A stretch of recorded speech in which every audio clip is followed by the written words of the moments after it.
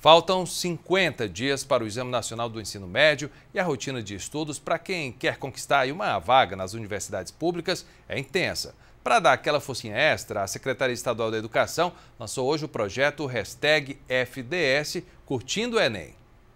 Em 2016, o índice de aprovação dos alunos das escolas públicas estaduais no Enem cresceu 28%. São mais de 13 mil alunos que ingressaram em universidades públicas e privadas. Neste ano, quase 100% dos estudantes estão inscritos no Enem.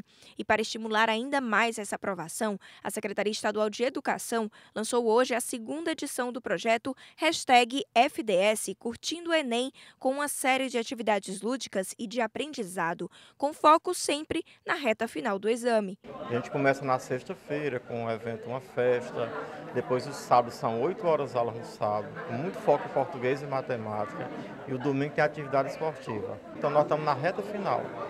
É o esforço do professor, do diretor, e o, o nossa missão é que ele chegue no ensino superior. Na capital cearense, o projeto será realizado no Centro de Formação Olímpica, no Castelão, e no SESI da Barra do Ceará.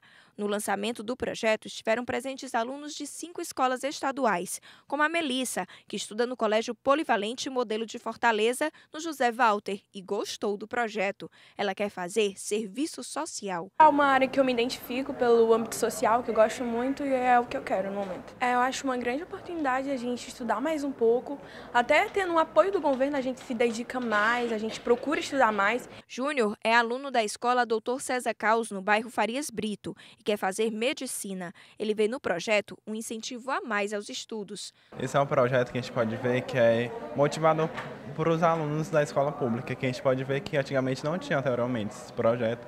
E isso motiva os alunos cada vez mais. As aulas serão realizadas em três finais de semana de setembro, tendo início hoje, e acontecerão em 70 polos, atendendo 35 mil alunos do ensino médio da rede pública estadual dos 184 municípios cearenses. Dessa vez nós, nós preparamos o material de português e matemática. As outras disciplinas nós deixamos a encargo do, de cada arranjo local definir. Agora, o português e matemática nós estamos entregando material estruturado. Para saber como participar do projeto e onde estão localizados os polos, é só acessar o portal seduc.ce.gov.br.